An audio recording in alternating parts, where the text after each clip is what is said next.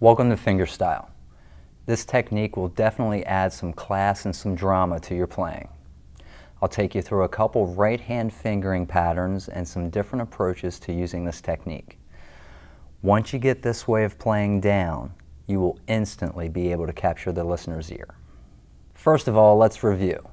When we're playing fingerstyle guitar, we use abbreviations to indicate the fingers on our picking hand.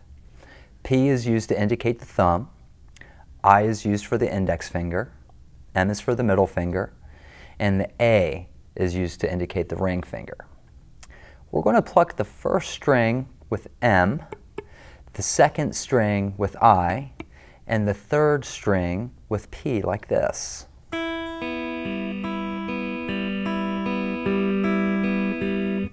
I like to think of this as each finger is assigned a string.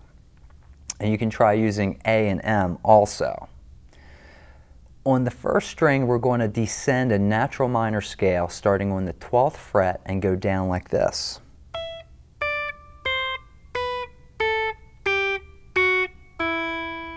And now all we're going to do is just put both parts together.